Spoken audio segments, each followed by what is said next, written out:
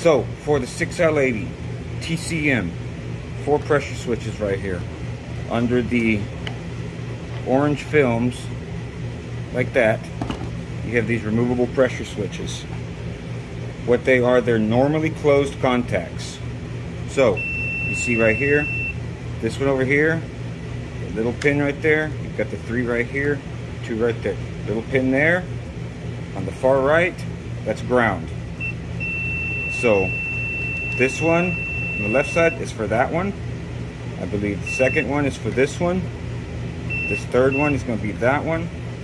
And the one next to the ground is that one, I think. So the way you test these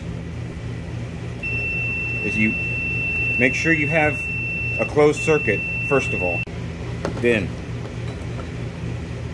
once you know you've got continuity, take something that's not very sharp, but small enough to fit in there, and you press the switch down, and it opens the circuit.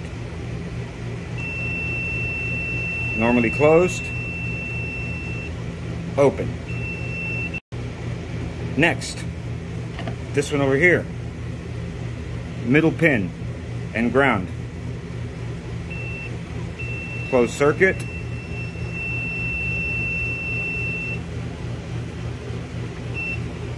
Open when you push it. When there's pressure on these switches from the transmission, it pushes the switch and it opens the circuit. Alright, that's that one.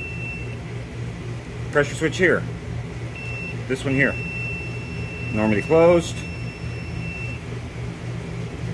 Open. Okay. Last one.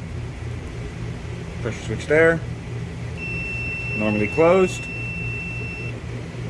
Open. Oh. Normally closed. Open. And that's how you test your pressure switches to make sure that they are opening and closing the circuits as they should when they get pressure.